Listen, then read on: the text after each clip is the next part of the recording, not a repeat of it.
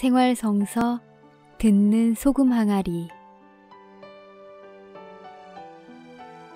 성부와 성자와 성령의 이름으로 아멘 7월 21일 연중 제16주일 농민주일 루카복음 10장 38절에서 42절의 말씀입니다. 그때 예수님께서 어떤 마을에 들어가셨다. 그러자 마르타라는 여자가 예수님을 자기 집으로 모셔드렸다. 마르타에게는 마리아라는 동생이 있었는데 마리아는 주님의 발치에 앉아 그분의 말씀을 듣고 있었다. 그러나 마르타는 갖가지 시중드는 일로 분주하였다. 그래서 예수님께 다가가 주님 제 동생이 저 혼자 시중들게 내버려 두는데도 보고만 계십니까? 저를 도우라고 동생에게 일러주십시오. 하고 말하였다. 주님께서 마르타에게 대답하셨다. 마르타야, 마르타야. 너는 많은 일을 염려하고 걱정하는구나. 그러나 필요한 것은 한 가지 뿐이다.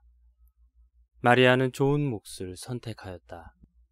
그리고 그것을 빼앗기지 않을 것이다.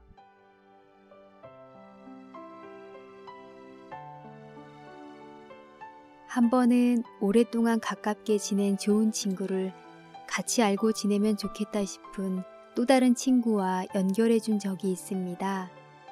아니나 다를까 처음 만난 사이였지만 오래 알고 지낸 사람들처럼 둘은 금방 친해지더군요.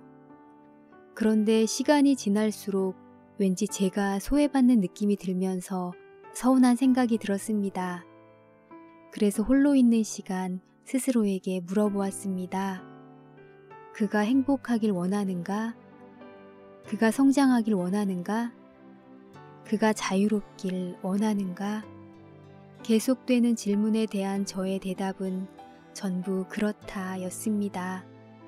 그러자 그렇다면 무엇이 문제인가?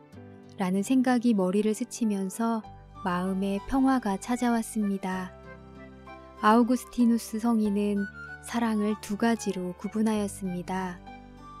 그 첫 번째는 대상을 이용하는 사랑으로 대상이 수단이 되는 사랑이고 두 번째는 대상을 향유하는 사랑으로 대상이 목적 그 자체가 되는 사랑입니다.